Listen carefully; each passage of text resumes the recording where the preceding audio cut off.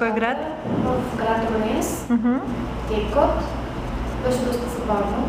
Заминах с идеята, че ще бъда нещо по реденето на рафтовете и така нататък в един супермаркет, но в последствие се оказа, че бях касиерка.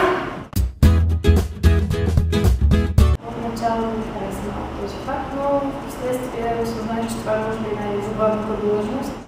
Определено беше доста трудно, не можехме да си намерим втора работа, имаше доста българи, но някъде към втория месец вече нещата се оправиха.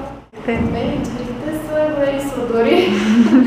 Общо взето много са общителни и много ми хареса това, че се отнасят с нас равни. Не, въобще нямаха отношение с едно, те са нещо повече от нас.